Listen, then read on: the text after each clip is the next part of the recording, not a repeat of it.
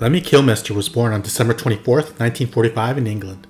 His birth name was Ian Fraser Kilmister. Given the amount of cigarettes he smoked, the alcohol he drank, and all the drugs he did, I'm shocked he lived as long as he did. He supposedly got his nickname as a kid when he would ask people to let me borrow a fiver. He was a roadie for Jimi Hendrix before singing in the band called Hawkwind in 1971. He was fired from that band in 1975 after his arrest for drug possession.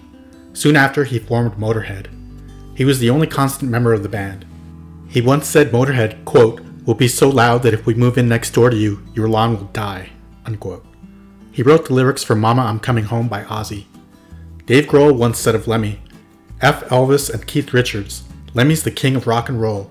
Lemmy's a living, breathing, drinking, and snorting effing legend. He died in 2015 at the age of 70 from prostate cancer, cardiac arrhythmia, and congestive heart failure.